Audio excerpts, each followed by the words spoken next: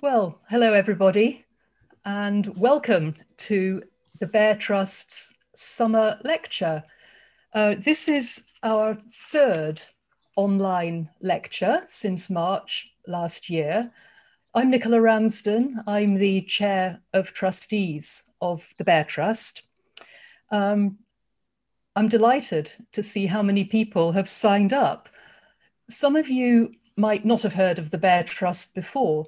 So just very, very briefly, uh, we're a UK based charity and we try to improve the health and welfare of vulnerable groups of people in Eastern Europe and Central Asia. So, broadly, most of the countries of the former Soviet Union.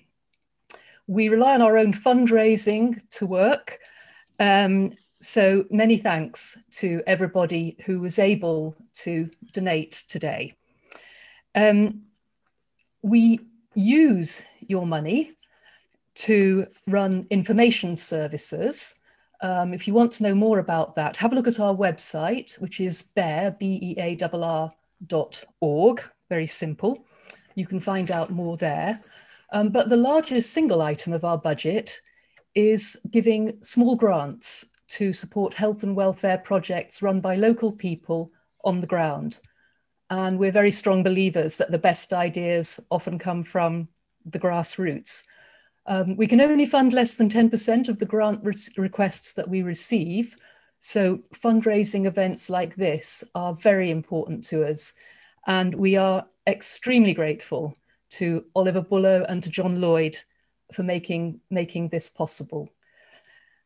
I was absolutely gripped by Oliver's book, Moneyland, and I have been a huge fan of John Lloyd's thoughtful journalism for many years now. I expect there'll be a lot of questions. Please put them into the chat function, um, and John will moderate them after Oliver's finished his lecture. Um, just a few technicalities before I hand over to John. Uh, as usual, we will all be on mute during the lecture. It would be very nice if you can keep your video on, but no problem if not. Um, and just a reminder that we are recording this event. Um, thank you. Uh, that's all from me for now. And I'd now like to hand over to John Lloyd, our chairman. Many thanks. And I'm very glad to be here and also to, to do it for the BEARR Trust, which I know, whose work I know well. Um, our, talk, our lecturer today, uh, Oliver Bullough, published a book um, already, already advertised uh, about three years ago called Moneyland. And it was subtitled, Why Thieves and Crooks Rule the World and How to Take It Back, which gave, gives you a measure of the ambition of the writer, uh, which has gone beyond that of writing a book. He's just written another one, uh, which is, will be published soon. The subtitle of Moneyland uh, borrows from the tag that uh, Alexei Navalny has put indelibly, we hope, upon Vladimir Putin and his party, uh, United Russia, Partia Zhulikov i Vorov, party of thieves and crooks this president, this party, uh, rule a vast country and they are the law. And he, as much, probably more than, than almost anybody else, has made that clear in his writing and his activism. But Moneyland goes beyond Russia. It, it says that uh, the possession of the world's wealth uh, is, one might say, a, a global pandemic Moneyland is a global tour d'horizon which should be read, especially on Russia, but on the way in which wealth um, multi multiplies itself uh, in various ways. Um, and it's also very good, very tough on the laundromat, which is a large part of the business of the City of London.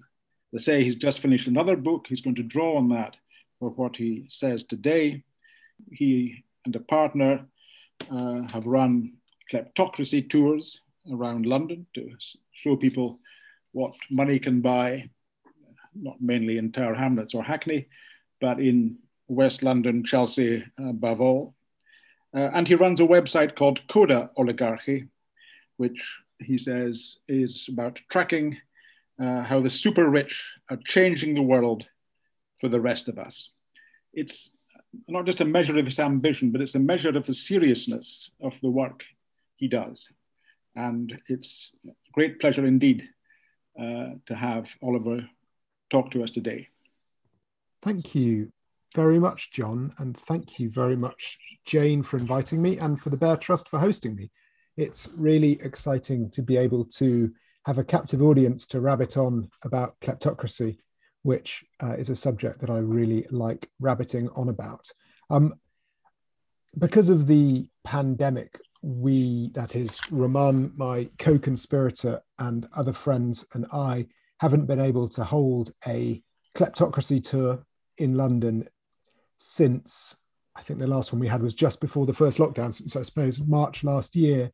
Um, they are essentially modeled on the um, Hollywood tours that you can go on in Hollywood, where you get driven around in a bus and they will point out, um, you know, the house that used to belong to Charlie Chaplin or, or where Scarlett Johansson goes to have a latte or whatever. I um I don't have any photos from the actual kleptocracy tour for you, but what I'm going to do is I'm going to try and share my screen. Um, at least I hope I am. And here we go. And so what I'm hoping that this will be able to show you. There we go. This is not an actual kleptocracy tour, but this is a cartoon that was shown in The Economist um, when they were writing about our kleptocracy tours um, uh, a couple of years ago. And we don't actually do it in an open topped bus. That would be more fun, but you can't really rely on the weather. So we tend to use an ordinary coach. And we start off, as a rule, uh, in Westminster, just down the road from the Houses of Parliament. Um, and then we get everyone on the bus and we drive through West London.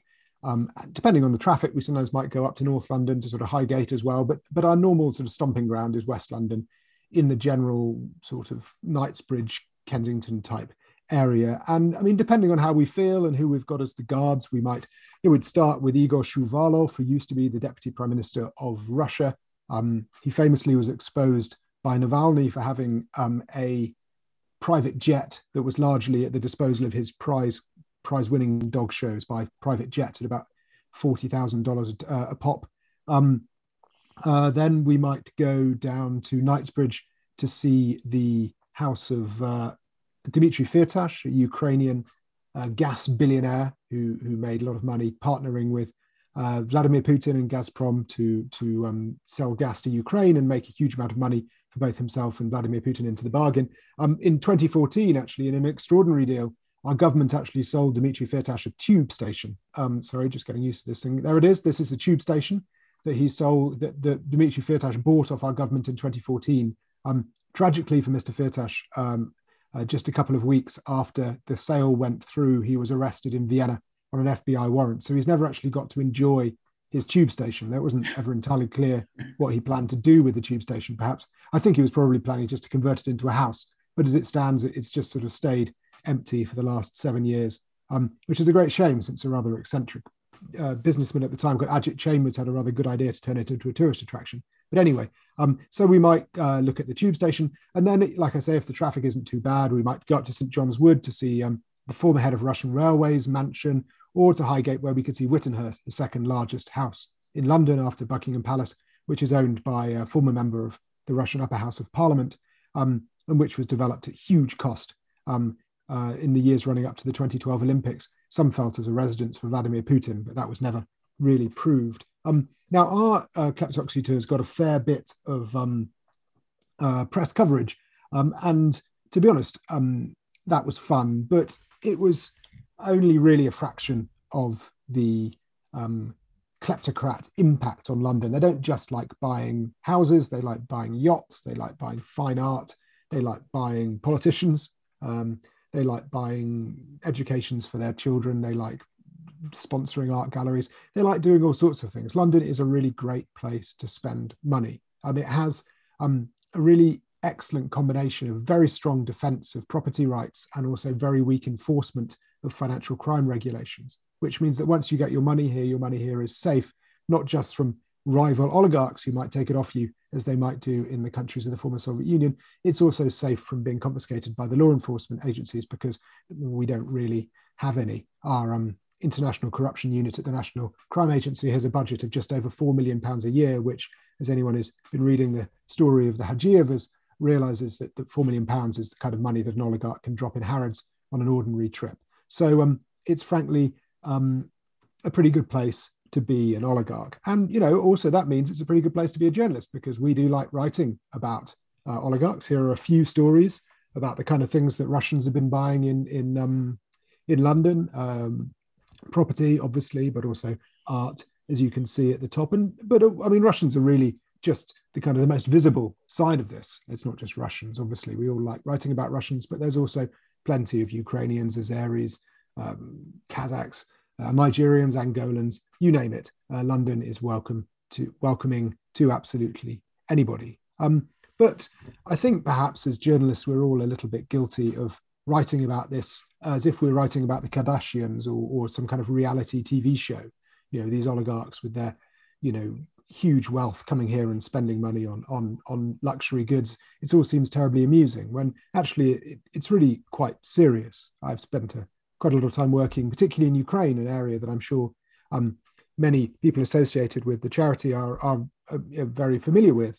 Um, and there, the the cost of corruption is almost immeasurable. Ordinary people's lives are um, ruined by their encounters with the um, state authorities, the difficulties they face in trying to access healthcare or education or justice are, are appalling and often um, denominated not just in money but also in, in, in cost to their real human lives. One family I became quite close to in Kiev um, um, in, in the years after, immediately after the Ukrainian Revolution 2014, um, uh, Nina and her daughter Nonna, um, Nonna is a hemophiliac.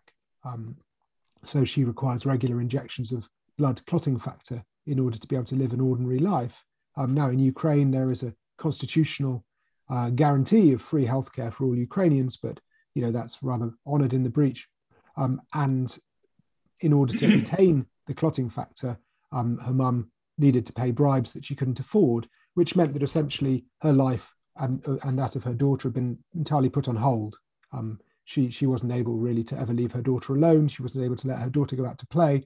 She trained herself to recognize the smell of blood so that if she was sleeping next to her daughter, if her daughter started bleeding in the night, she would be confident she would wake up and would be able to try and seek treatment. That is what corruption means. This isn't just a question of, of money, it's also a question of people's lives, people's lives being absolutely ruined by it and and that this is the kind of money that in London we we enthusiastically welcome into our property markets, our fine art markets, and so on. It's um, a national disgrace, really, and it's it's a great um, uh, it's source of embarrassment to me when in conversation with friends in, in Ukraine and Russia and Azerbaijan and elsewhere, um, trying to explain why Britain doesn't do more about it. Um, uh, we just had the Queen's speech yesterday, and once again, Britain has done nothing about it. In fact, there was a, a promise to try and reveal offshore ownership of, of uh, property in London in the last Queen's speech back in 2019. Uh, that never promise was never kept, and in fact, it appears to have been quietly dropped. It certainly wasn't included in the Queen's speech this week. Um, so why aren't we doing anything about it? Well, often um, people will tell you that the reason we're not doing anything is because the money is hidden offshore, it's washed offshore. By the time it arrives in the UK, it's very difficult to tell who it belongs to. It's very difficult to do anything about it. And there is, of course, a certain amount in that. Um, but it's certainly not the whole story. Um, we could be doing a lot ourselves. We could be doing a lot more ourselves. And in fact, our failure to do it ourselves is almost something that provides cover to tax havens to prevent them having to do anything about it either. Um, um, so, what I want to talk about is how our role in the UK as an international financial centre is something that stops us doing anything about um, international corruption. And I want to start off talking about um, a, a, a, crime that many of you probably remember at the time uh, in Moldova back in 2014. Uh, what, what was probably, by comparison to the size of the economy where it happened, um, the largest bank heist of all time, when just under a billion dollars was stolen from three Moldovan banks and and um, spirited out of the country uh, whence it vanished, causing a political crisis in Moldova. It was an, it was a sum uh, approximately equivalent to one eighth of the size of the entire Moldovan economy at the time. So a truly vast sum of money by Moldovan standards. The, the equivalent sum of money um, for the United States, I think, would be somewhere around two and a half trillion dollars. A vast, vast amount of money. Um, the biggest bank heist of all time. But but where did it go? You know, where did all the money disappear to? Well, it was last seen in the possession of a, uh, Scottish limited partnership, a, a, Scottish shell company, in a flat in in, in Edinburgh. Um, um, something that was sufficiently peculiar for obviously Scottish journalists to be very interested in it. They were tipped off by the police in Scotland, and there we go. There's a couple of headlines from um, the uh, the Herald in Glasgow, and and also from uh, the BBC. Farlan Four. In fact, you can see there that that rather uh, un, undistinguished looking property was the address where the billion dollars was last seen. It went in through the front door and then vanished somehow without ever going out out the back. Um, the um, mystery of what happened to this billion dollars um, was just one of many, really. Um, many Eastern European uh, money laundering scandals of this nature tracked back to shell companies registered in Edinburgh or in Inverness or in other Scottish cities. Um, we saw uh, the money laundering scandal in Danske Bank, uh, which ended um, with uh, the whistle being blown by a whistleblower called Howard Wilkinson in 2013, um, in which 200 billion euros was moved via Danske Bank's Estonia branch um, to who knows where, somewhere into the international financial system, again, overwhelmingly owned by British shell companies, as we can see from this chart um, published by the lawyers who looked into the scandal. Um, the, the line in grey is the ownership um, from the UK of bank accounts at Danske Bank. As you can see from 2011 onwards, the single largest share of bank accounts was in UK, were UK owned. That doesn't mean British people, that means British shell companies. There was also a sizable chunk from the British Virgin Islands just to show that we were um, uh, in first and third place um, in, in the ownership of these shell companies. Um, the um, shell companies in, in, question, these were not, not limited companies, but what are called limited partnerships. They're a very peculiar hybrid form of structure that have a sort of best of both worlds quality for money launderers in that they look legitimate um, because they're British and Britain has a good reputation, which, though perhaps by the end of this talk this evening, you may wonder whether it deserves it.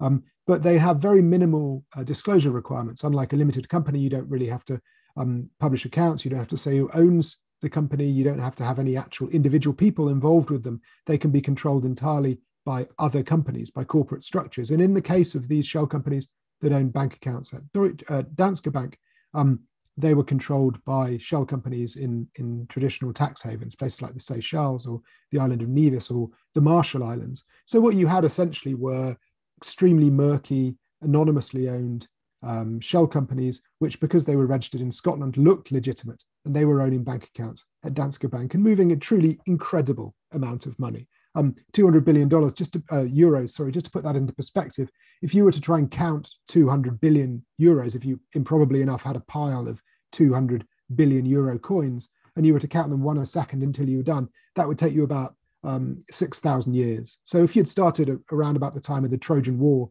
you might be getting to 6,000 you might be getting to 200 billion around now. And that was just one scam. Uh, Swedbank, another Scandinavian bank, moved uh, about 130 billion euros, and others were, were almost of the same size. Um, you know, and obviously these banks deserve a certain amount of blame, quite a lot of blame for moving all this money. But really, the the, the key uh, role in disguising the ownership of the money and allowing its owners to move it into the international financial system was played by the shell companies, and the shell companies were provided, of course, by Britain. Here is uh, some testimony given by Howard Wilkinson, the Danske Bank whistleblower, um, to, uh, to a parliamentary inquiry in Denmark um, about those shell companies. The worst of all is the United Kingdom. The role of the United Kingdom is an absolute disgrace. Now, obviously, with a scam of this nature, a series of scams of this nature, these truly vast, what are called laundromats uh, by the media. I always think it's a bit um, grand calling them laundromat. It makes them sound a bit, a bit exotic. I think we should call them laundrettes to give them that sort of rather more feeble, um, sordid aspect. But anyway, laundromat is what people call them. So let's call them laundromats. These series of laundromats moving money out of um, Russia, Ukraine, uh, Moldova, Azerbaijan, Kazakhstan into uh, the Western financial system via shell companies registered in the UK. Um, it was epidemic, and it was so huge that you would expect a, um, a government response, to be honest, because it becomes such um, an overwhelming um, scandal.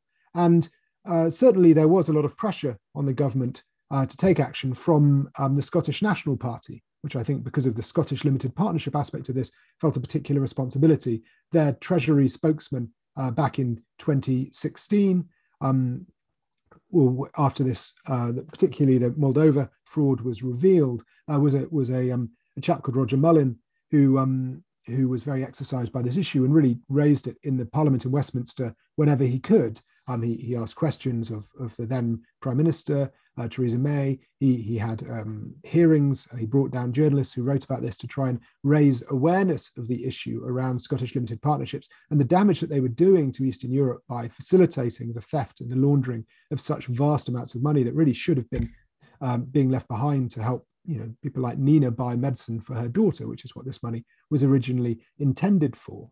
Um, um, you know, and and I, I, mean, I do have a just to show um, the the extraordinary nature of this scam. The sheer number of Scottish limited partnerships being created was out of all proportion to anything that had previously happened. I think there were more SLPs registered in 2016 than there had been in the entire century following their creation in 1907. I think I have a chart now coming up to show quite how many were created. There they go. Um, it, after the laws around companies were changed in, in 2006, which is where the arrow is on the chart, and which meant that, that actual limited companies weren't so useful, limited partnerships became attractive to money launderers. We can see the sheer number of them increased uh, every year from then on all the way up to 2015. It was a it was an, an epidemic of money laundering, all under cover of um, Scottish limited partnerships. Um, and uh, so Roger Mullin held these hearings in Parliament. He, he, he raised this um, with officials at the Treasury. He raised this with anyone who would listen. And he had a lot of success in terms of gaining attention. It looked very heartening. Um, you know, in, in, in early 2017, um, the government uh, committed to holding a consultation as a first step towards tightening the rules to make sure that this kind of thing could never happen again. And, and, this is this is heartening. This is what Parliament is supposed to do. You know, the media um, discovers a problem. The media informs a politician like Roger Mullin. Roger Mullin takes it to Parliament. He holds hearings, and the government agrees to do something about it. It was, you know, very pleasing, and um, it really looked like everything uh, was going to be sorted out, and that these kind of structures would never be allowed to be used for money laundering again. The money launderers would have to find something else to, to do, something more difficult. It would be harder for them to move money and more expensive, which is, after all, what we all want. Um, sadly, however, there was a problem there was a, uh, a grain of sand in this particular. No, hang on. There was a fly in this particular ointment. A grain of sand is different. Um, uh, the problem is that criminals were not the only people using limited partnerships. Now, limited partnerships, they were created in 1907 and they were largely used for much of the 20th century just for holding agricultural tenancies in Scotland. They were quite useful in specifically Scottish conditions. But um, after the 90, following from the 1980s, there was a second constituency who discovered how useful it was to have essentially a tax-free structure to hold assets which no disclosure of any kind. So no one knew that you owned it. You didn't have to pay any tax on it. It was a sort of um, heads I win, tails you lose structure, which frankly anyone with money is very much in favor of. Um, you see, uh, criminals were following a trail blazed by private finance. Um, hedge funds had discovered uh, limited partnerships in the 1980s, and large, and they had become the the vehicle of choice for most private funds in Europe for holding assets. Um, and this is a, a, a, story I tell quite often in Moneyland when um, financial uh, institutions discover the use of a, of a structure of a particular way of moving money. And then after financial institutions have blazed the trail, the trail is then followed by criminals. And the amount of money being moved by financial institutions was far larger than the amount being moved by criminals. 200 billion uh, euros may look like a lot of money, but it's nothing compared to the kind of money being traded and moved around by hedge funds and private finance in, in, the, in the offices of Mayfair and the City of London. Um, so when Roger Mullin was really hoping that the consultation um, would bring tighter rules for limited partnerships. He was extremely shocked when the government announced, or that it was announced, not only that there would not be tighter rules, but actually just a couple of months after the consultation, the government was creating a new kind of limited partnership, not with, with um, far looser rules, the PFLP, which rather annoyingly shares an acronym with the Popular Front for the Liberation of Palestine, which makes it quite difficult to Google. Um, the PFLP would in fact become even more loosely regulated than the Scottish Limited Partnership. The, the, the, the problems the SLP faced in order um, with anyone trying to track its use for money laundering would be greatly magnified by anyone trying to track the use of the PFLP for doing it. Um, and Roger Mullin is absolutely furious about this. Um, he thought he'd won a, a, a promise to tighten the rules on limited partnerships, and instead the rules were loosened. And he went to um, to to the, the Treasury, um, to an official from the Treasury, and he said, "What's going on?" Um, and what she said, Gwyneth Nurse, they're definitely not going to clamp down. They are by their nature deregulatory. The UK is open for business. We're interested in modernising our regulatory regime. Now, what was the concern? Why was the government, instead of tightening rules on limited partnerships in order to prevent money being laundered out of Eastern Europe and being used to buy mansions in, in uh, Knightsbridge and Eaton Square and so on, the ones that we show off in the kleptocracy tour. Why was the government um, loosening the rules that were already doing so much damage?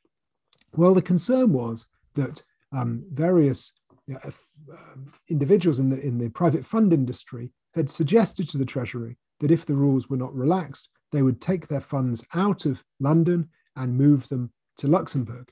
That they would, instead of having their, their money managed out of London, they would move their money to Luxembourg because Luxembourg was promising to treat them better. Um, and they, they demanded that these particular changes be made, and so the changes were made.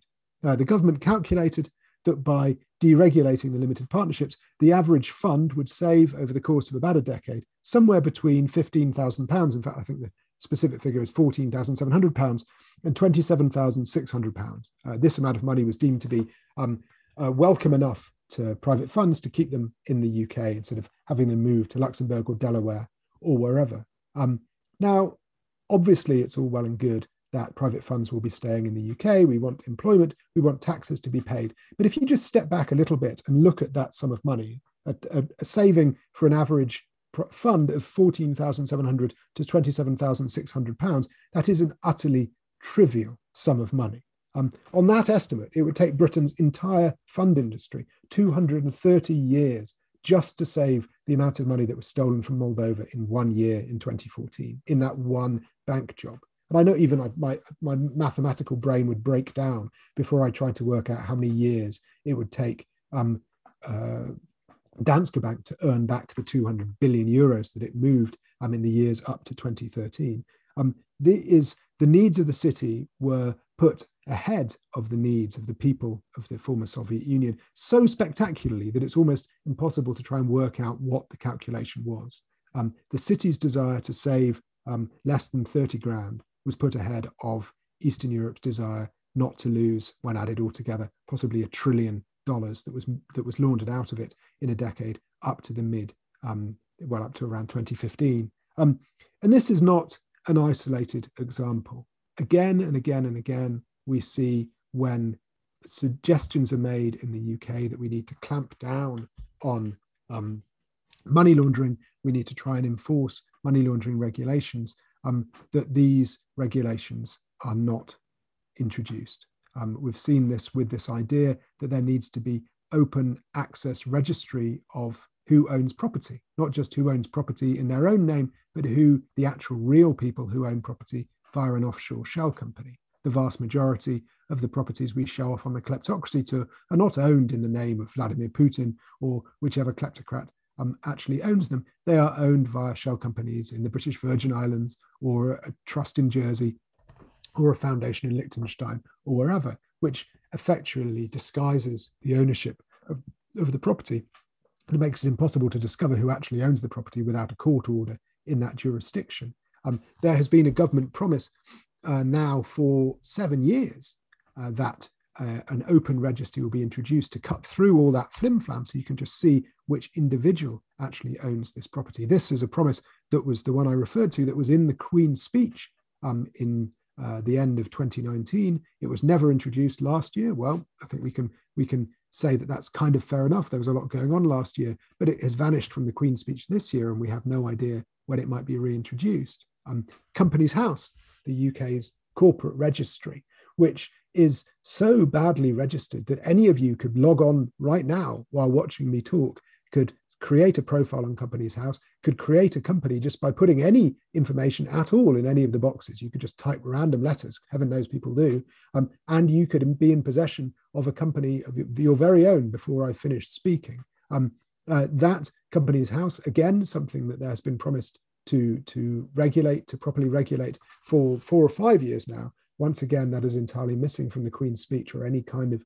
order of government business, even though they recognized in their integrated review in March that our failure to adequately reform our shell company system is something that is playing into the hands of kleptocrats because it allows them to hide their money. Um, um, th these are um, many, many um, different examples. I could go on and on and on. In fact, I probably will if given an opportunity, just to show that um, Britain is not taking the issue of financial crime seriously. In fact, um, in the uh, Intelligence and Security Committee report into Russian interference in the UK, published last year, there was this extremely alarming quote from the director of the National Crime Agency.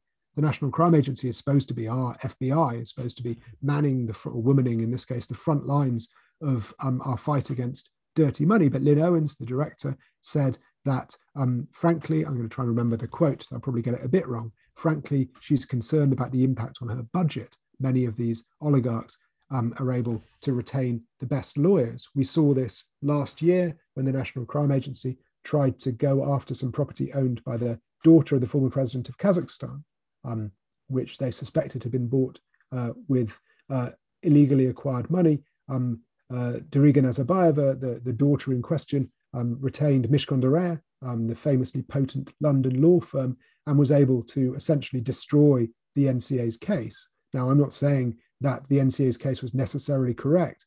But if you see um, the remarks by the judge in the in in her ruling in which she found against the National Crime Agency, you will see that they produced a you know um, frankly a, a, very very poor um, response to Reya. They really um, did put up a very bad show indeed. So so bad that a, an academic I know suggested they did it on purpose. It so seems so inexplicable. But actually, if you realise that the budget of the International Corruption Unit is only 4.3 million pounds when you compare that to what an oligarch can spend on lawyers, which is essentially a bottomless sum, you realize the National Crime Agency has no chance at all. Um, you know, the uh, the UK is is is a is an open, wide hole in the world's um, defences against illicit finance.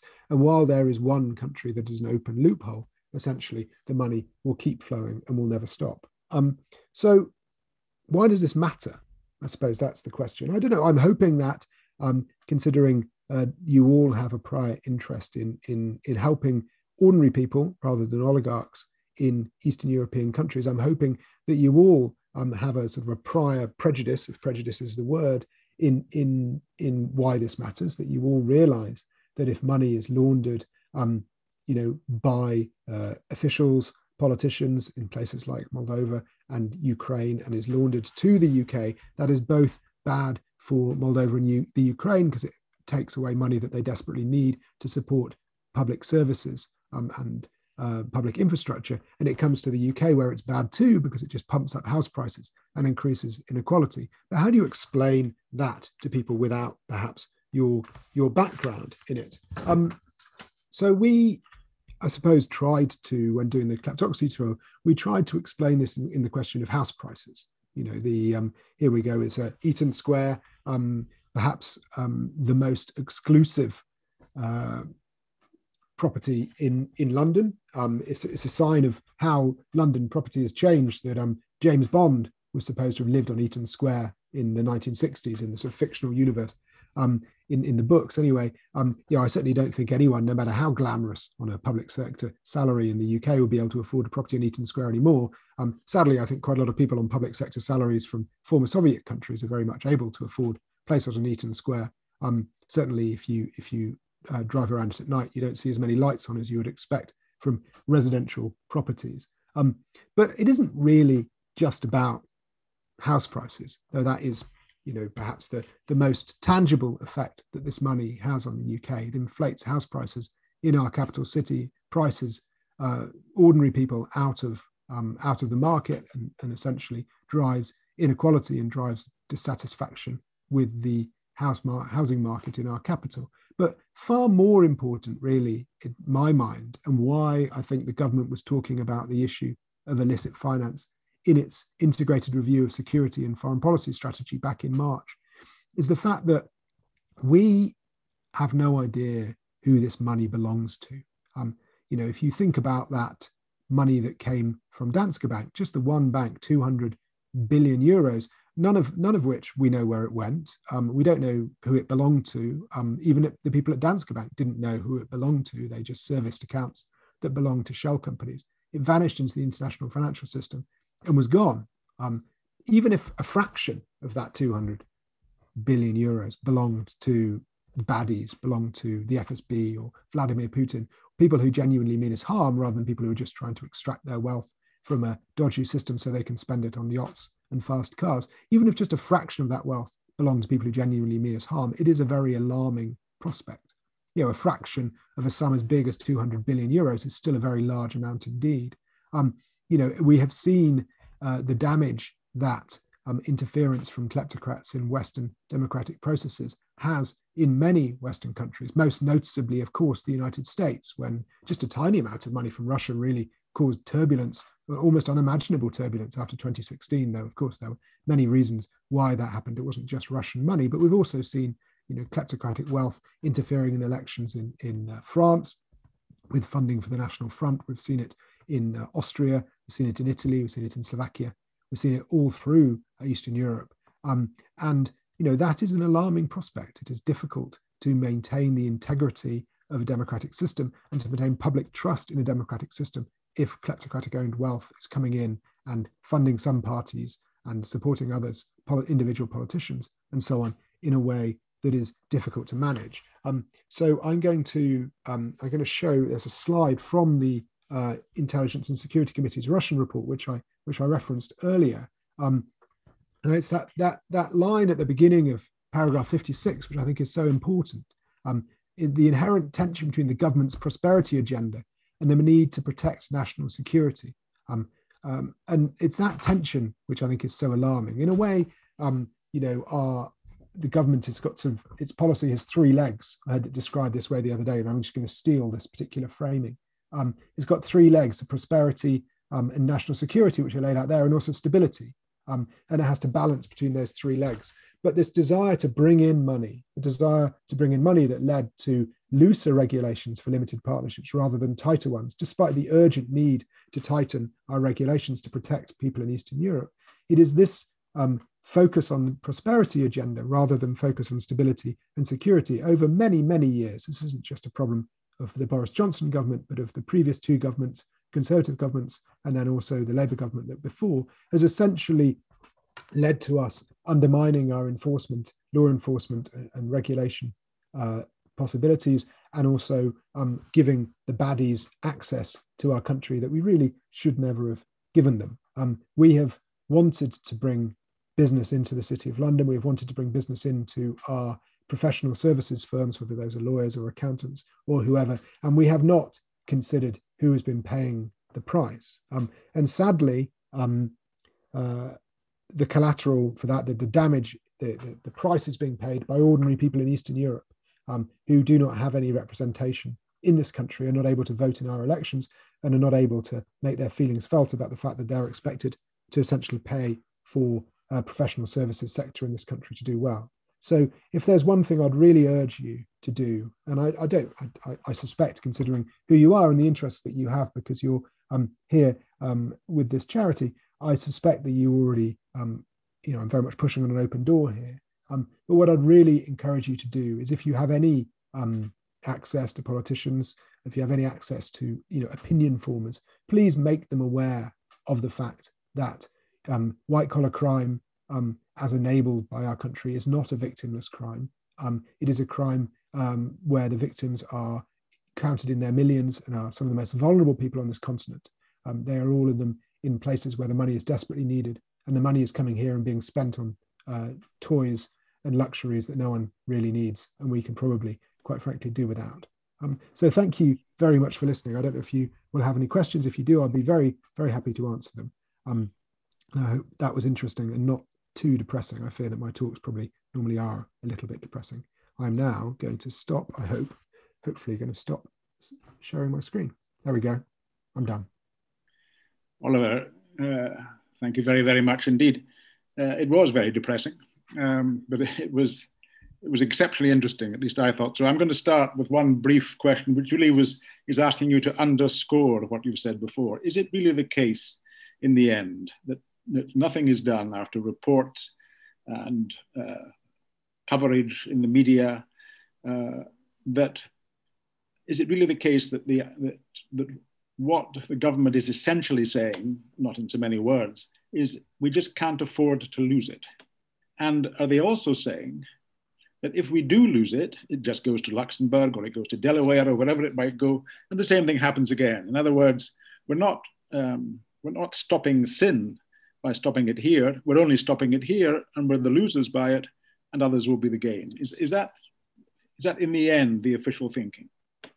Yeah, it, it's a really interesting question, and um, it's been since offshore offshore as a concept and as a financial concept was invented in the 1950s and really popularized in the 1960s that argument that you've that you've just expressed has come around again and again and again and essentially uh, it comes in two parts um, the first part of the argument of why we shouldn't bother doing anything to stop this the first part is is is, is popular is, is, is expressed nicely by Dr. John in his song. Um, if I don't do it, somebody else will.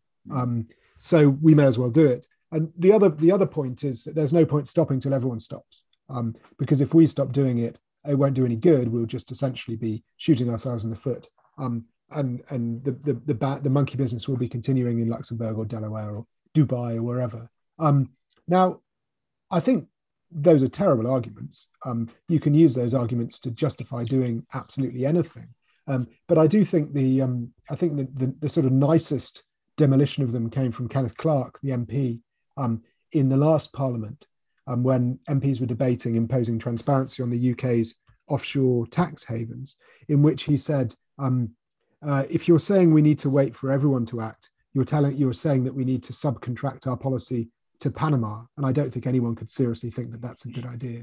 Um, so yes, I, I think that, that there is a concern in government about the impact on our economy of turning this business away. There is also, whether legitimately held or not, a concern that if we stop doing this, it'll just continue somewhere else. But we, and you know, we in the West more broadly, but as definitely as part of an effort, we have essentially given that argument short shrift when it's been used to us by tax havens, when tax havens like the British Virgin Islands have said to us, well, if we stop doing it, someone else will continue doing it. We've said, well, that's clearly a bad argument. That's absolutely nonsense. So if we again, if that argument is not good enough for them to use in relation to us, then it quite clearly isn't good enough for us to use in relation for anywhere else. So, you know, I think that that you know we can afford not to take this money.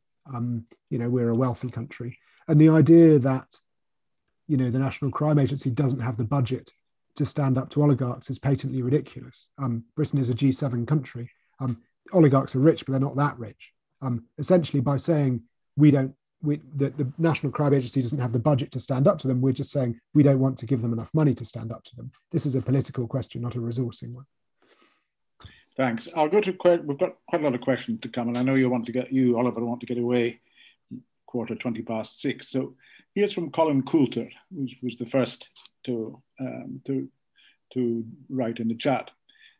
Could Oliver please take a, please talk a little about the rise of the oligarchs? From what I've poorly understood, English self-deprecation there, I think nationalized companies were divided into shares by Gorbachev at the end of the USSR and given to all Russians, only to be bought up aggressively by would-be oligarchs, which then made them gargantuan fortunes once they amassed huge stakes in these national industries. Is that right? Uh, it's certainly part of the story. There are a number of different origin stories, you know, depending on the oligarch.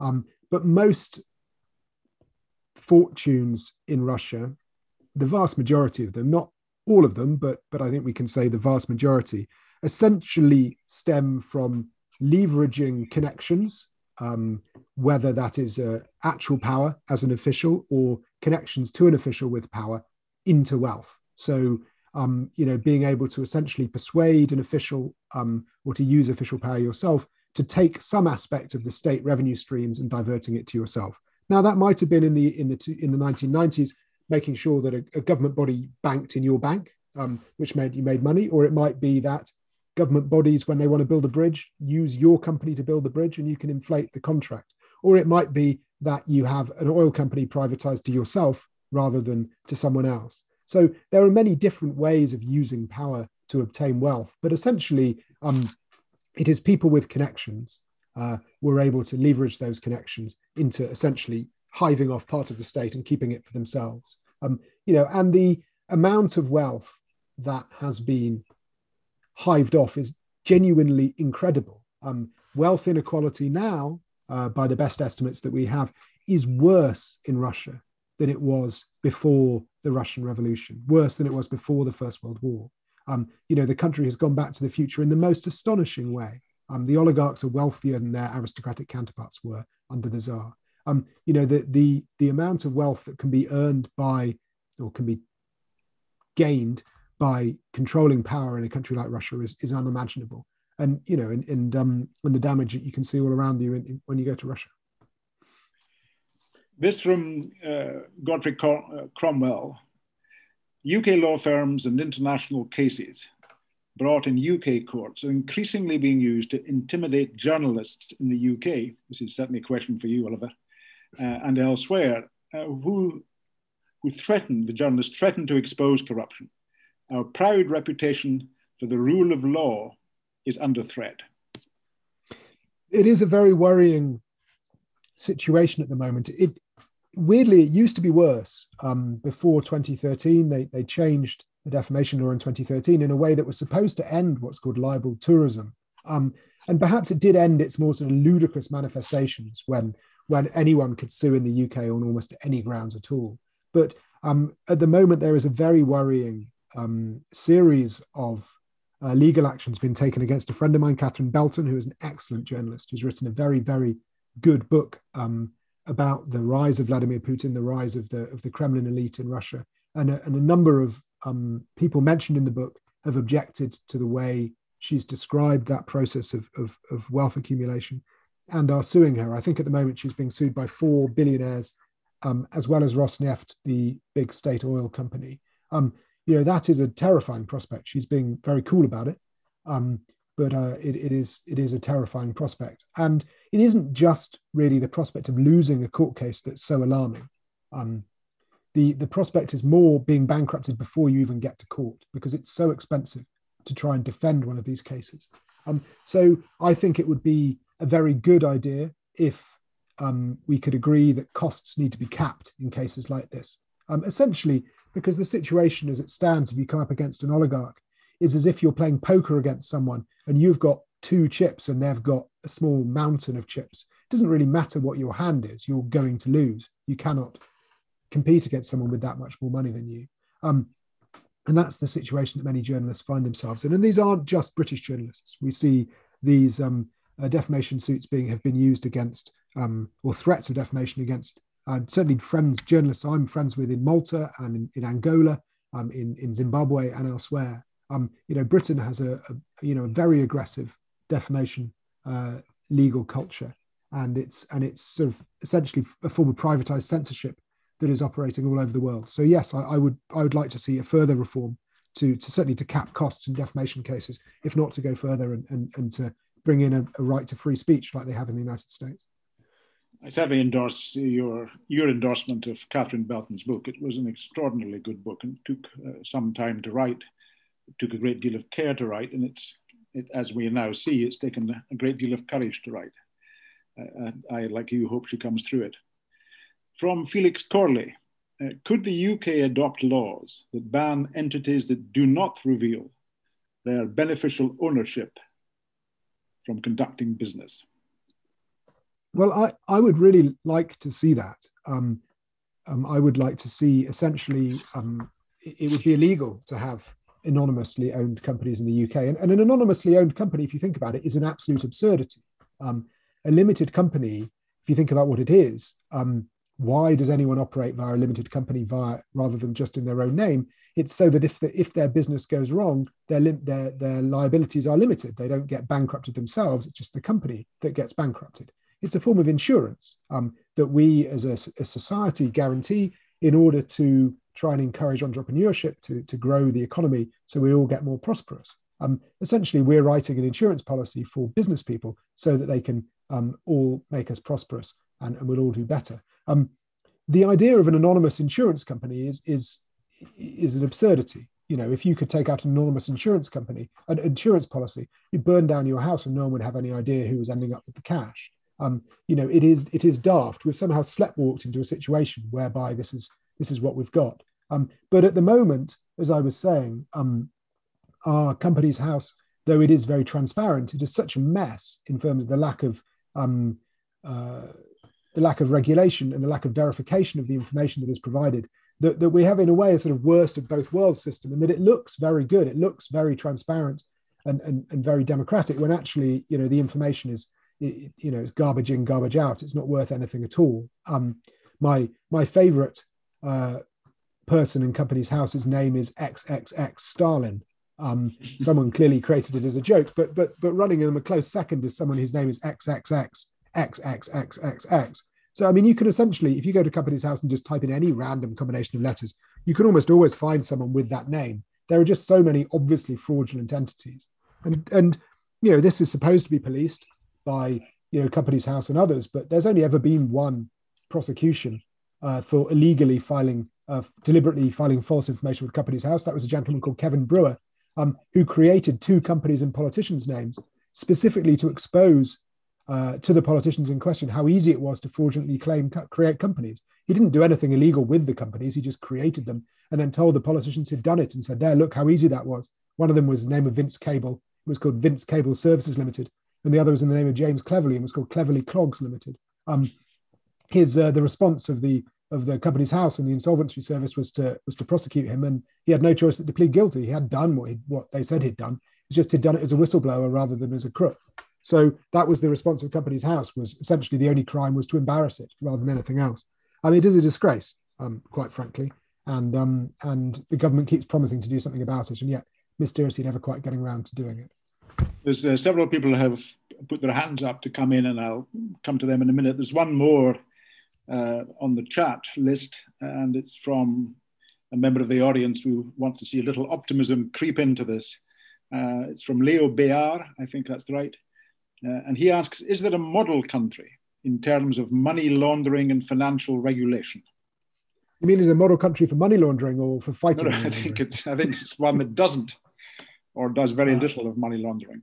Um, not really. I think that's um, right. Yeah, I mean, the the essentially what the in in Europe, in which I include the UK for our purposes, um, we tend to be relatively good when it comes to transparency. Um, certainly compared to the United States, we tend to be quite good at revealing who owns things, um, but we tend to be exceptionally bad when it comes to prosecuting financial crime. It doesn't almost doesn't happen at all um, in Europe and the UK.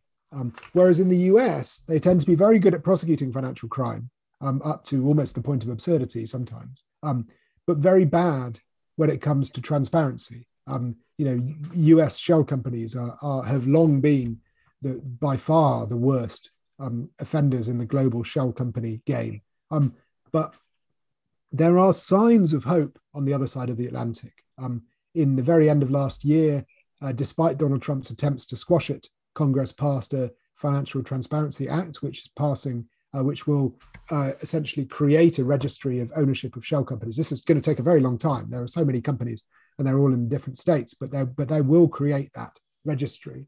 Um, so hopefully, progress is happening um, in the United States. Um, sadly, I haven't seen any concomitant progress in the EU or the UK towards greater enforcement of financial crime regulations. But I suppose I have this sort of long term um, uh, hope that we could somehow meld our systems and gain sort of US enforcement and EU transparency. But to be honest, knowing my luck, it probably work the other way around. We'd probably end up with US transparency and EU enforcement. But you can but dream. So no, is there a is there a, a, a golden place? Not really. New Zealand probably comes closest. New Zealand had a big problem, um, recognized the problem, um, uh, analyzed it correctly, and passed some very straightforward laws which squeezed the problem out. Um, so New Zealand has done pretty well. It used to be as, as much of a problem as the UK is in shell company terms, but isn't anymore. So, um, but but but it's a relatively small economy, and so it's it's a bit easier to do things over there. One of the people who have a hand up is Daniel Franklin, who uh, he's the Daniel Franklin I know. He's from The Economist. Daniel, you, you please ask your question, but you have to unmute yourself first. Uh, thanks very much, John. Yes, um, that, that's the same one. Um, uh, thanks for a, a, a brilliant description of, of the, of, of, the problem, of the phenomenon, extraordinary as it is. I, I wondered if you could focus a little bit more on the on the remedy or potential remedies. What would you have liked to have seen in the Queen's speech on this? What would really uh, begun to make a difference? Thanks. Um, I mean, I would I would love to have seen you know, just I mean, I, I, have a I have a bit of a tendency of of just reeling off a wish list, which is a bit sort of like you know, like a um, when I was a kid writing a list of all the things I wanted for Christmas. You know, I'd have a computer and a pony and a car. Um, what I'd really like um, would be that that a repeat of the promise that that, that was made in 2019 about revealing offshore ownership of, of UK property. Um, you know, almost 100,000 properties in England and Wales are owned offshore. It's, it's not a small amount of property.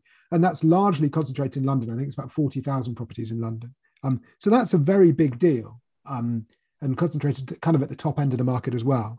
So, you know, not all of those are owned by kleptocrats. A lot are owned by investment firms and so on in, in, in registered in Jersey. But, you know, a lot are owned suspiciously and in, in, in dodgy places. We don't want that that money here. I would love to have seen that um, repeated. I would like to see a proper commitment to reforming Companies House. Um, so the, at the very least, the information filed with Companies House is verified.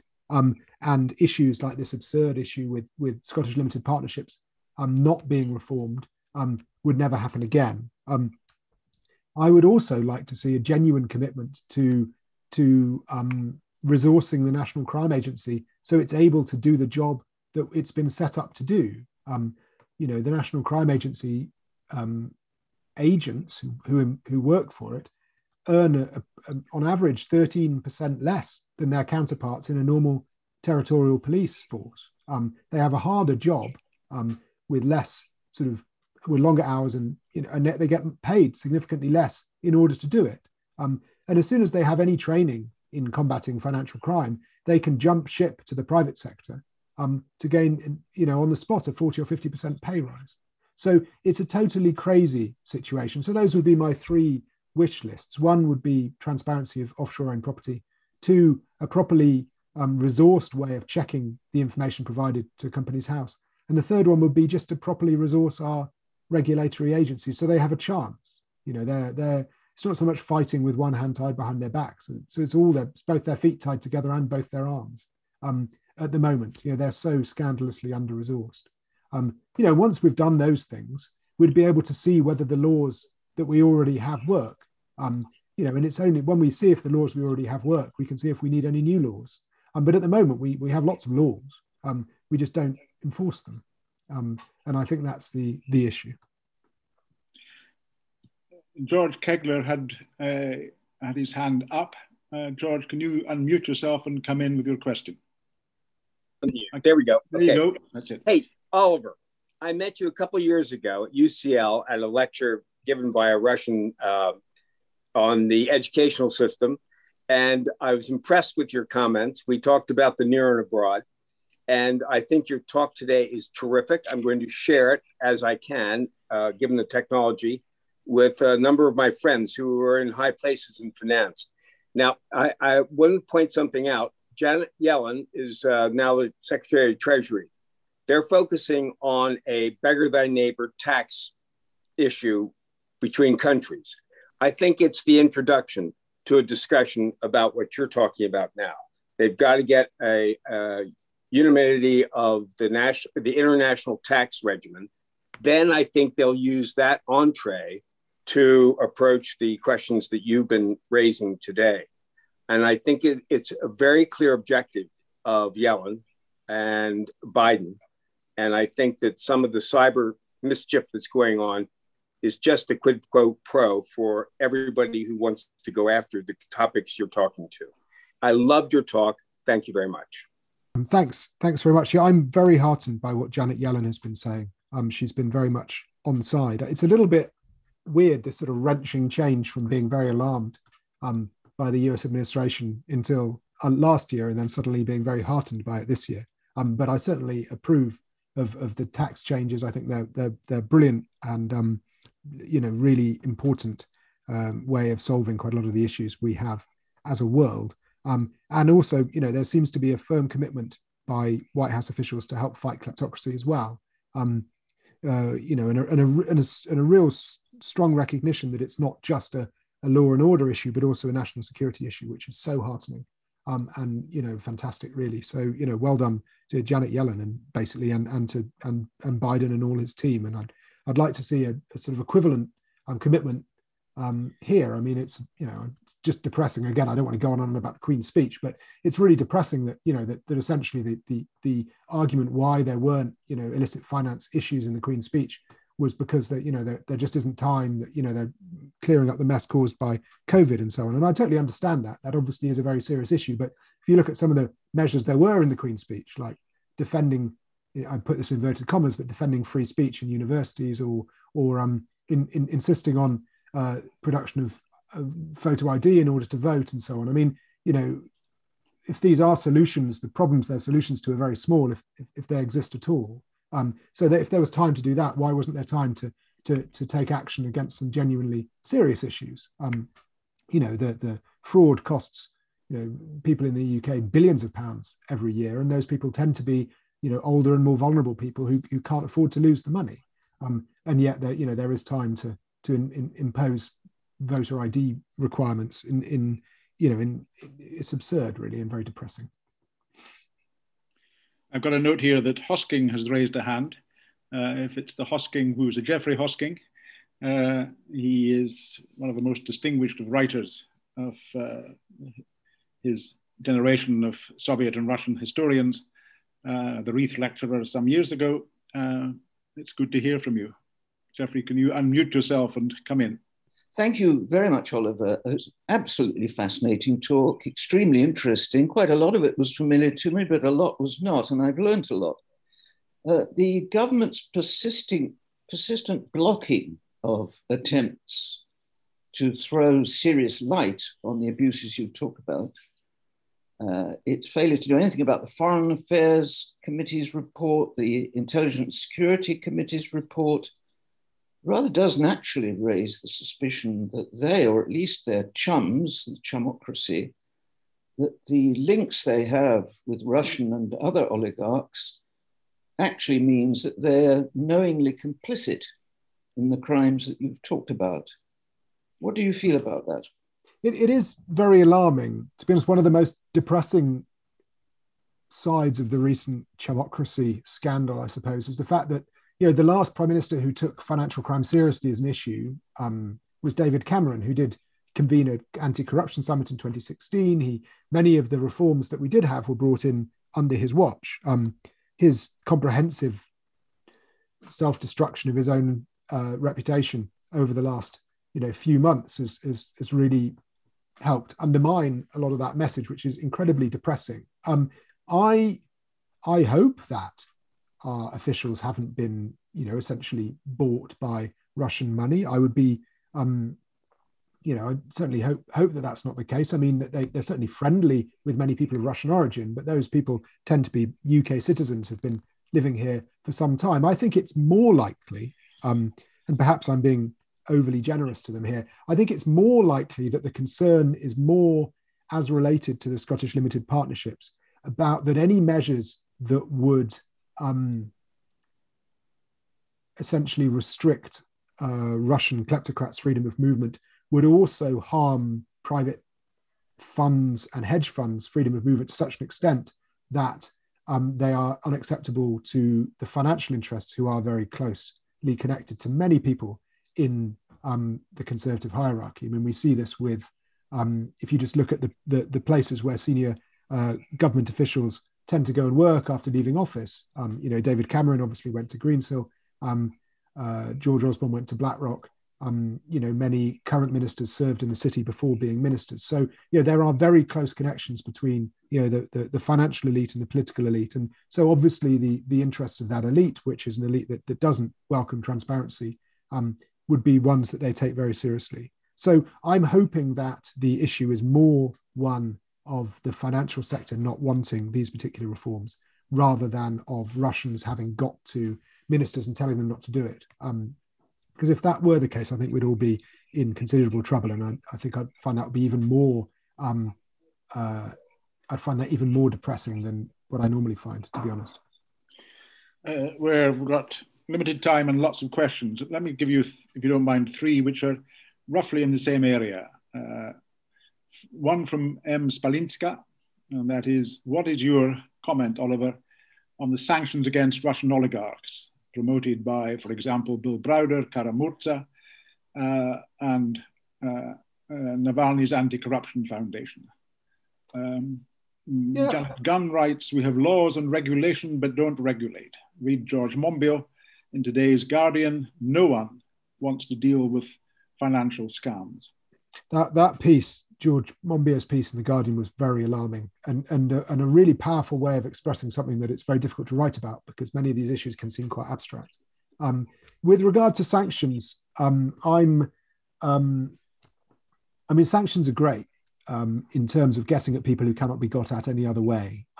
I worry, have I mean, um, and last month the government brought in a whole uh, new kind of sanctions, the anti-corruption sanctions, which were very much what Bill Browder has been pushing for for a long time. And many of the, I think, 14 of the people sanctioned were people involved in um, stealing 230 million dollars from Russia, which was exposed by Sergei Magnitsky and for which he died. Um, but I, my worry is that in this country we um, jump to sanctions without doing the the, the work first, which would actually make the sanctions meaningful. Um, you know, we don't expose what sanctioned individuals actually own because we don't have true transparency of ownership. We don't do the investigative work that allows other actions to be taken against them. It's like, you know, jumping to the cherry on top of the cake without actually building the cake. Um, and that's what I, I fear that we're, we're going as a, as, a, as a country, we go for the easy headlines without doing any of the, the hard work which actually is required to make an actual difference. So, and this seems to be the case again and again and again. I mean, a lot of the a lot of the issues that currently with Companies House were were present um, in the the initial reform that was done back under the coalition government, um, and it was obvious to people at the time it was going to cause a problem, but the government couldn't really be bothered to do it properly. Um, so we see this again and again. I, I, would prefer they took a bit of time, spent a bit of money, and and um, and actually took it, did it systematically, and tried to actually achieve something. Um, I fear at the moment that, that the concern is far more about winning the headlines and winning a bit of kudos and then moving on rather than actually achieving anything. Oliver, I've just got a note from Nicola to say that uh, you have you have told her that you can you can take more questions because you haven't got any child minding responsibilities anymore. I, I can hear. I know. I can hear. My my wife has clearly discovered someone to look after football, so now I can hear her with Very the good. other one around the corner. So everything is okay for another few minutes. Very good. Uh, uh, we will benefit from your your children from ab your absence with your children. yeah. Someone has written Jane Harrison. Uh, Jane Harrison has written. We should mention the oligarchs and Putin's links to the royal family. Michael of Kent. The, ca the case of Michael of Kent comes to mind. I, should, yeah, I will add that he he seemed to be also doing uh, uh, oligarchic tours, but in this case, tours of people to see the oligarchs in the Kremlin. Uh, yes, I'd rather come unstuck from a from yes. lousy journalist who wrote about it. No, no, nosy journalist keeps poking around. No, I agree. That was a very dispiriting and depressing story. Um, mm. he's um he's quite popular in Russia though. Um, I think because he he he doesn't so much anymore, but he used to quite closely resemble the last czar. He had a no, since yes. into at the moment. He's got a bit of a lockdown hair tragedy, but he had quite a quite a, a, neatly trimmed beard, and so he looked quite like Nicholas II. So, so a lot of Russians are quite a soft spotted for him. In fact, I used to hear it mentioned that maybe they should bring him back to be the, you know, monarch of Russia, but then Russia found its own monarch, so it didn't seem to need him anymore. Uh, someone has uh, written to say um, that your talk was fascinating. This is Kerwin Williams, um, and that we should be, all of us, she says, we should um, be more, we should have more suspicious minds. In other words, we shouldn't take for granted on the surface, I think she's saying, we should be more suspicious. Do you find, if I can extrapolate from her question, do you find people, when you talk to them about this, who are not particularly knowledgeable about uh, finance matters or Russia, do you find that people know something about it, feel that something is going on? Because you did say earlier, a very powerful statement, that this could damage uh, the, the trust in a democratic system. Do you find people have got some sense that something wrong is happening here?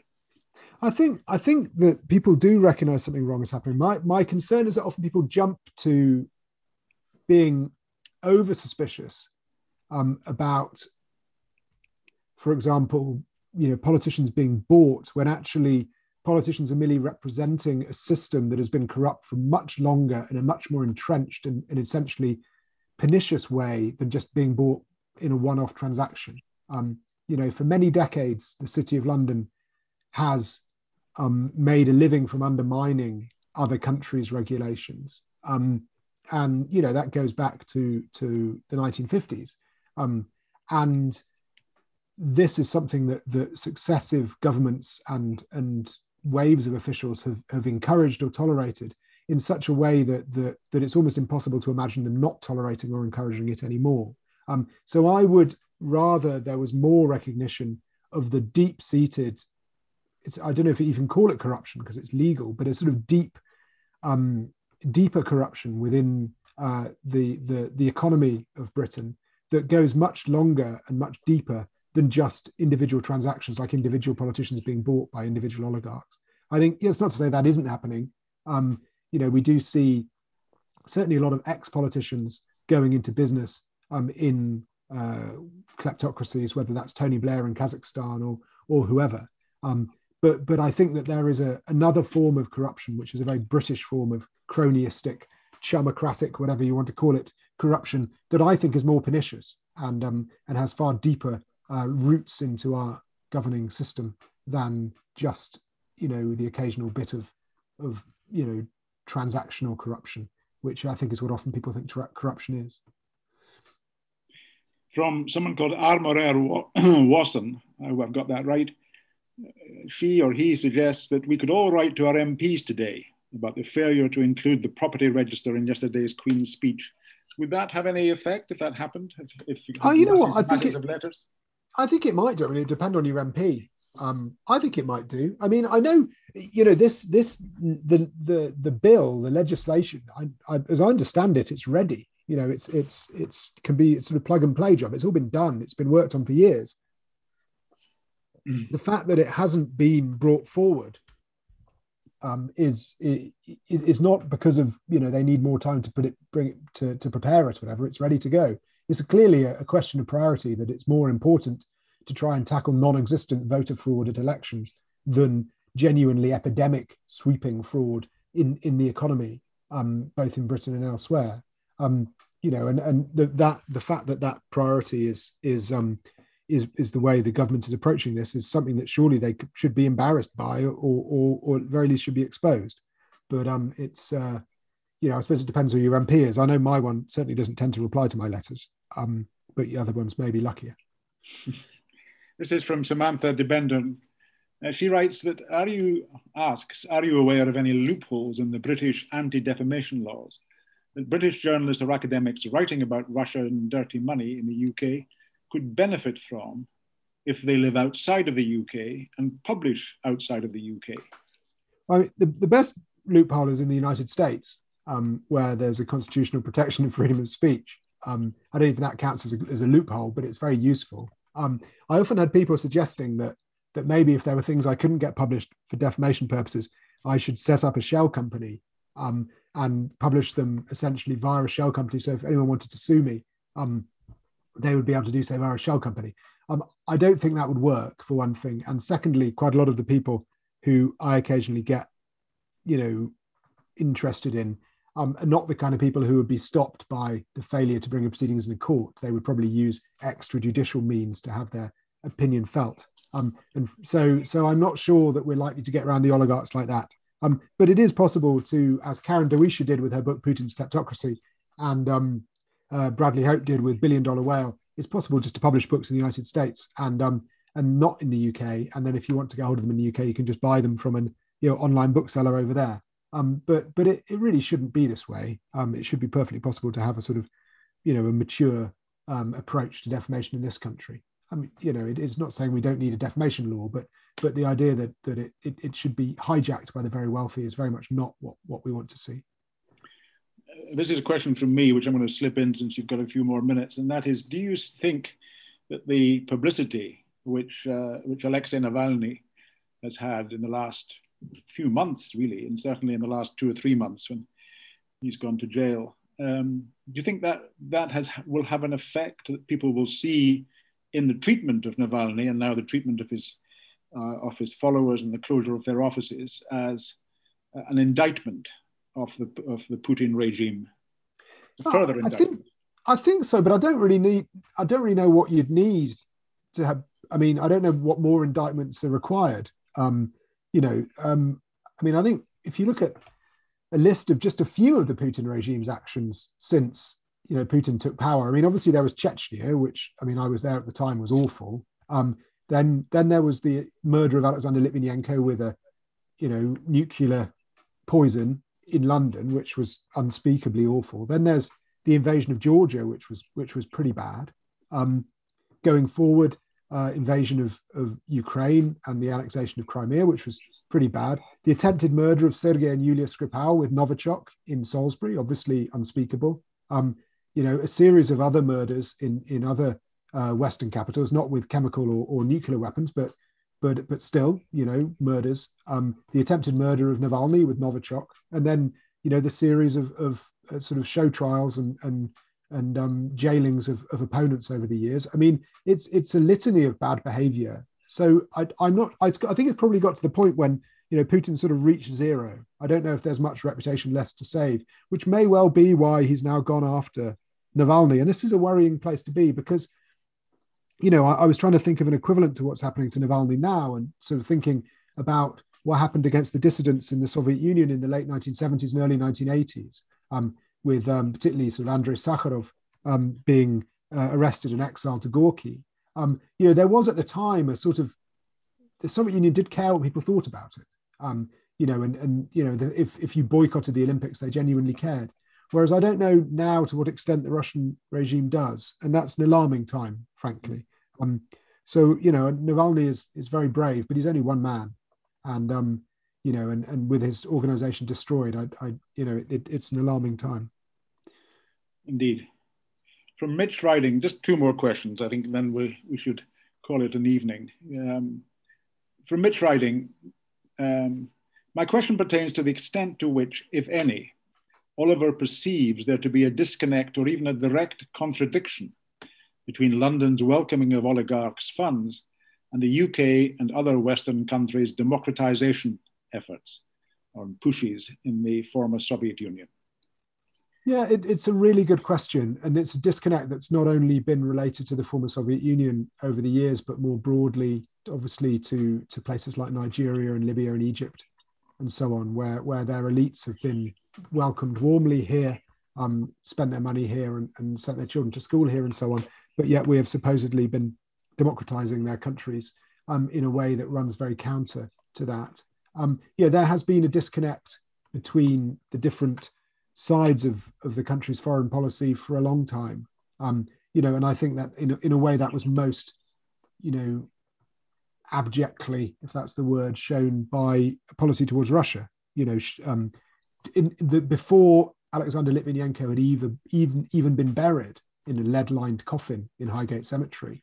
Um, you know, there was a, a government minister quoted anonymously in the Sunday Times saying, you know, we mustn't risk falling out with the Russians over this. They're simply too important. Um, you know, the the idea that that a British citizen, someone who'd come as a refugee to this country, could be poisoned with you know alpha radiation in the centre of London. It's only a miracle that no one else was was killed as well. It's such a, you know probably the most toxic chemical known to man. And yet the first thought of a government minister was that the Russians are too important to fall out with over this. It is, I think, it shows that this tension um, at the heart of the, the between the prosperity and the security agenda, um, as as highlighted by Dominic Grieve's, you know report for the international for the Intelligence and Security Committee. Um, you know that's the, that's the problem right there. Um, you know that that that we, that we don't want to cost ourselves business by falling out with them, even when they use polonium 210 to kill a British citizen in the centre of London. Uh, Godfrey Cromwell came in before, but he's put in another brief question, and that is that, that, that what you've been talking about, Oliver, puts number 10 wallpaper in the shade. why, why is the opposition not making more of it? By which I think he doesn't mean the wallpaper, because actually they made quite a lot of the wallpaper. Uh, do you think that the somewhat embattled leader of the Labour Party would think that this would be worth raising and making something of? Or would he think it simply wouldn't appeal to an electorate which seems to be a bit turned off it's interesting, isn't it? What catches the attention of voters? Um, you know, I, I mean, the the wallpaper is pretty horrible. I mean, I just think it's ugly. But leaving that aside, um, I I think it's easier to make the case about um, something that's accessible like wallpaper than it is about something as vast as 200 billion euros being moved through Danske Bank with British shell companies.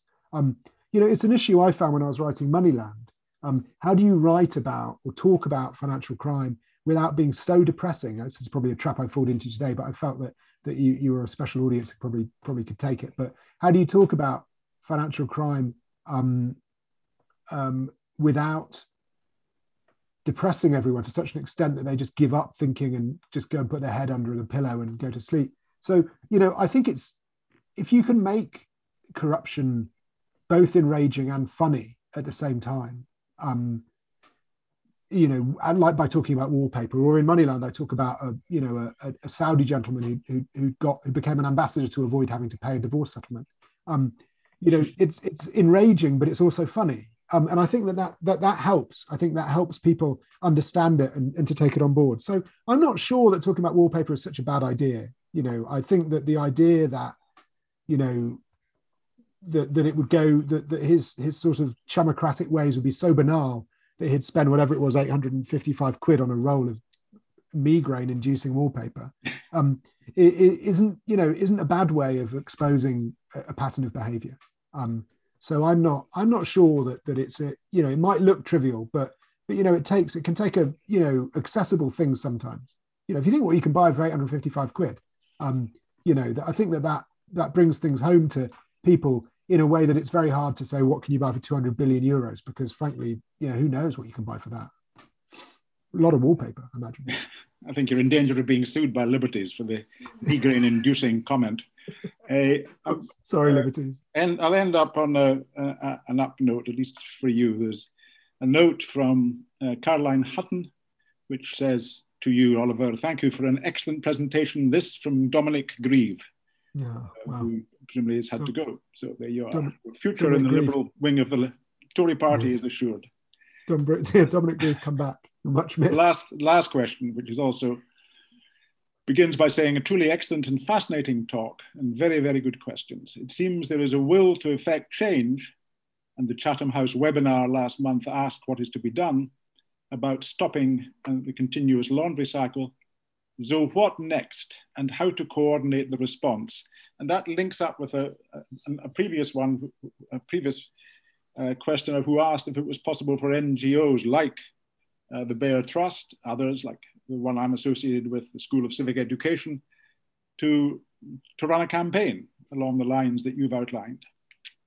Um, uh, yeah, I mean, certainly it, it's very important that NGOs maintain a focus on this, um, whether they're specifically anti-corruption NGOs like um, Spotlight on Corruption, that who I work with, or or development NGOs like BEARR or, or, or whoever. You know, it, because it because illicit finance affects you know everything. It, it's the you know it is the the plumbing that that facilitates all crime um, and and does a huge amount of harm in the world. Um, you know, I'm you know I'm a I'm a very much a, a favor of the sort of the, the the sort of both and approach you know just just everything. You know everyone needs to talk about this all the time you know because the, the issue with financial crime is for, for such a long time it, it's been everyone's sixth priority or fifth possibly. Um, you know in that everyone recognizes it's important but no one gets around to doing anything about it. Um, and i think we need to shift it up the list because you know, if we could sort out, even a bit sort out some of these issues, it would make sorting out other issues, whether that's terrorism or poverty or, or you know, development, trade, so on. It would make it would make solving everything else much easier because you know it's a force multiplier for the bad guys and and um and a, and a, and a broad spectrum inhibitor for the good guys. Um, so fighting financial crime isn't just about fighting financial crime; it's about solving all the other most important issues that face the world.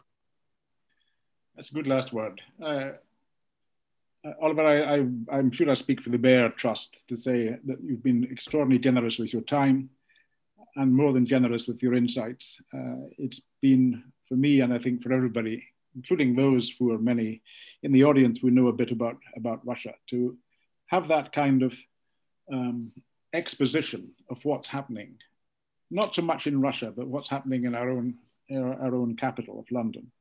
Uh, and to realize, to know, to understand that not enough, or indeed in some cases not, nothing at all is being done about it, is at least a beginning of, uh, let's hope, of some further action. Uh, and you've been among the most distinguished to prompt us in doing so. Again, many, many thanks to you. Thank you very much for listening and thank you for having uh, me. Could I just say a few words very briefly? thank you.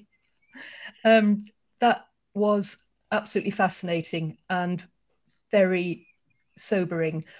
Um, had anyone wondered why this subject was of interest to BEARR, I think that Oliver has explained blamed absolutely brilliantly the impoverishing effect of corruption in the countries where it takes place and the direct impact that has on the health and welfare and the everyday lives of people there.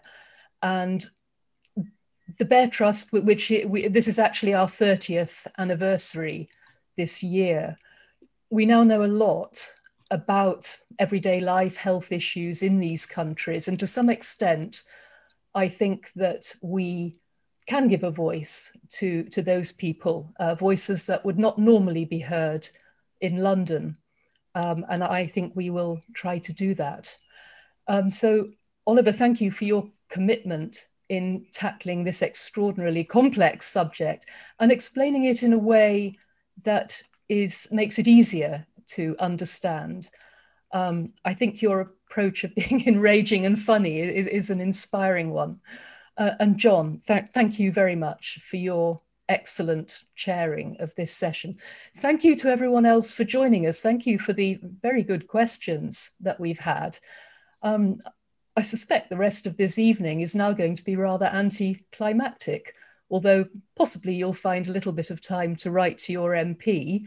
Um, and indeed, I, I, support Oliver in saying what a pity that Oliver, that, that Dominic Grieve is not one of the MPs we can currently write to. Um, anyway, that's it. Um, I'd just like to wish you all a, a very good evening. Thank you uh, and good night.